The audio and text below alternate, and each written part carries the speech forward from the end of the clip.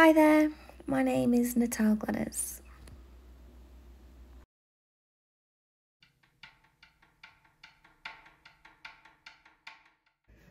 I am a walking contradiction.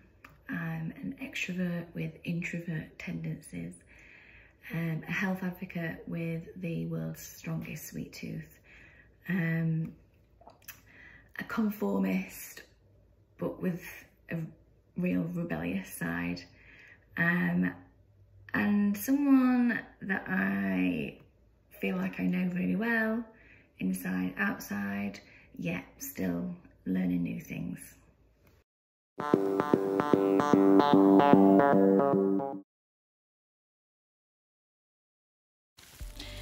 I believe being creative is my gift to the world.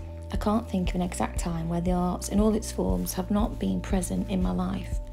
Dance, textiles, fashion, photography, drama, they've all played huge roles. I pride myself on always thinking outside the box. I strive to think and be beyond the norm, and in every job I've done, I've tried to be innovative, creative, and imaginative.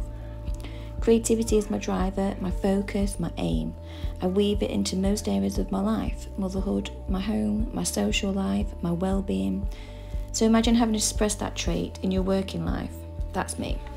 Trained as a teacher 10 years ago. Over the last decade, I've had to sideline my biggest passion to conform to a system. Now, I no longer have much faith in.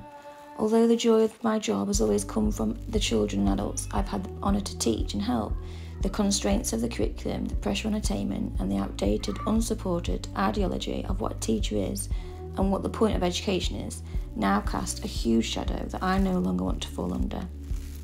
What working in education has done for me is solidify how effective arts based learning can be for all.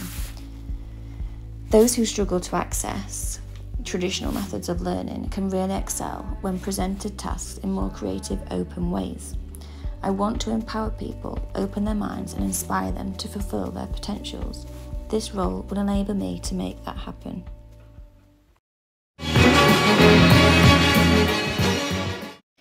In 2020, during lockdown, I built a little side business called the Neutrals Nursery. After trying many other businesses before, from card making to jewellery, when I had my children, I became really interested in decor, like playrooms and nurseries. So this gave me the creative outlet that I needed. I grew an organic following of 3,600 followers over pretty much the first year, um, completely organically, using things like competitions, hashtag challenges, sharing, interacting. I picked up lots of tips along the way of how to create an engagement page on Instagram.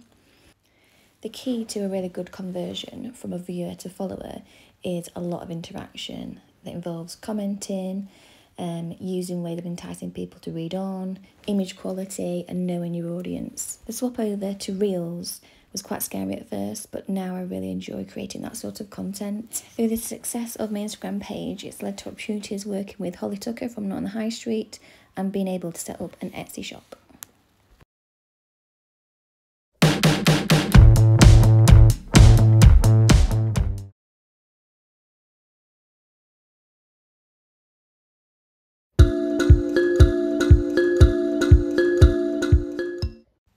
I was 21, I took a trip with a friend on a round the world ticket. We flew to Hong Kong, Thailand, Australia, New Zealand, Fiji, and LA. It was, without a shadow of a doubt, the time of my life. I think I was a nomad in a previous life because travelling and seeing new places is one of my favourite things.